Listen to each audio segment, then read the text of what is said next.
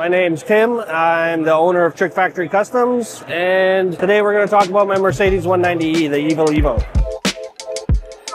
Basically, the way it starts for everybody is like the high school poster car for me, it was the Evo 2. This started out as a $500 donor car. And then once I got into it, I just built the most extreme version of the Evo 2 that I could come up with. Trickfactory Customs actually started out doing motorcycles. And then we transitioned into hot rods. And then from there, we transitioned into exotics. And each step, our sort of tech got better, our abilities got better. And now you can see some of the cars that we've done that I think you guys have seen we're trying to get into the OEM Plus, which your software has helped us do a lot. Became aware of 3D scanning probably like 10 years ago. But at that time, it was just so expensive and so unattainable. But now that obviously technology gets cheaper as more people use it, we use it every day. So like the combination of 3D scanning, CAD design, using Fusion, it's like all day, every day. Like now it's, it's replacing a completely another set of tools. And then the, the efficiency, the finished product is just so much better now.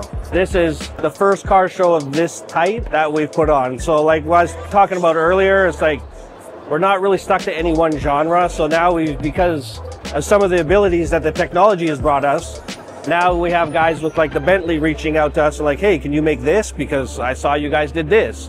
And then we got G-Wagons and race cars and exotics and it's, now it's just kind of, we do everything. Like we don't really, we're not stuck to any one thing. And then having the ability to make pretty much anything has opened up a whole appreciation to all different types of cars. We're just having so much fun doing what we're doing. Being able to use that software and, and solve problems and find solutions before we execute is, it's been amazing. So it makes us really good at everything.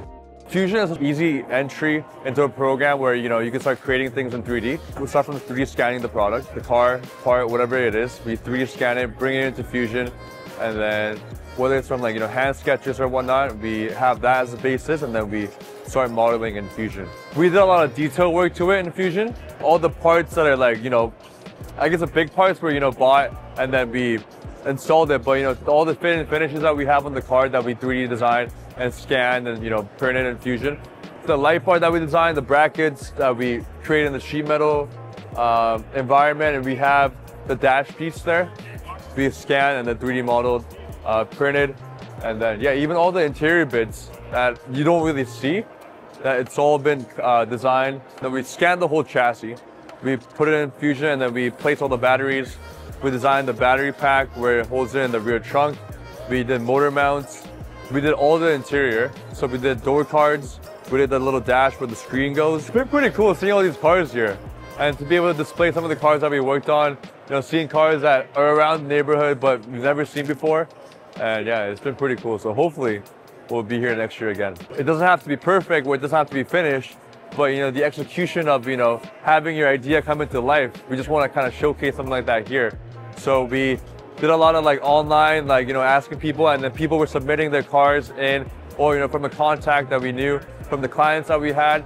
Uh, and then after they submitted the car request, um, I guess my boss and some other people, they were reviewing if the car was, you know, would be selected for the show or not. So yeah, these are all the selected cars that we decided to display here today. So yeah, all these cars are within the vicinity of Vancouver, so not even that far out. Yeah, like you never see these around the on the road or you know, people have this in the garage and work on it, so it's a nice way for people to come really see, check out what they're building in the garage.